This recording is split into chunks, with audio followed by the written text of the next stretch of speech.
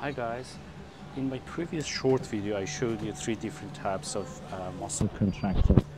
So as you know we have three different types of muscle contraction. When I'm bending my elbow, my muscles is shortening. It's called concentric contraction which is against the gravity.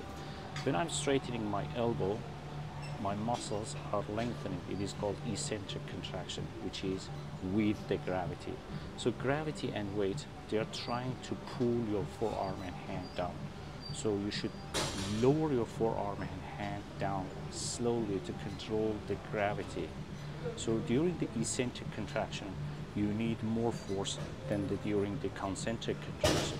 So you need to control the gravity, which has a huge impact, positive impact on your muscle strength. So take into account lowering the forearm and hand slowly during the eccentric contraction. Thank you.